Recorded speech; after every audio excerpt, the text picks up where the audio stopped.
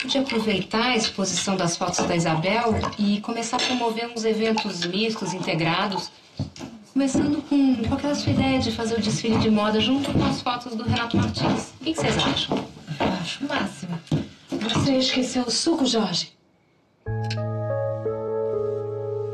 Obrigado. É pra você, Simone? Obrigada.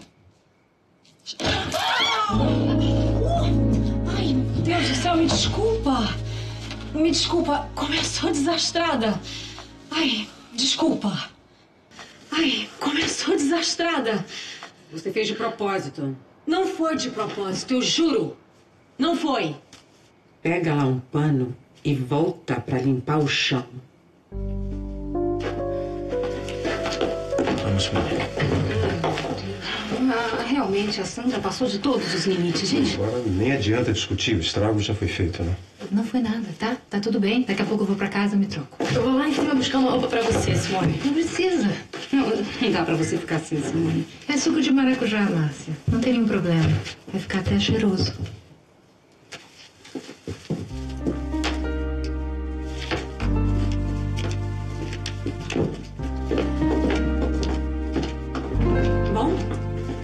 Limpa o chão, vai. Carmen, deixa isso pra depois. Agora não adianta, já aconteceu, né? Limpa o chão que eu estou mandando. Limpa! Eu não vou me abaixar diante de você, nem que você me mate. Limpa o chão! Limpa o chão! Limpa o chão! Limpa o chão! Depois vocês resolvem isso? É mais uma discussão na frente da Simone, ela nunca mais aparece nessa Eu casa. já tô até vendo por onde essa história tá indo aqui. Me solta, me solta, me solta. Já entendi. Larga o pano e sai. Agora.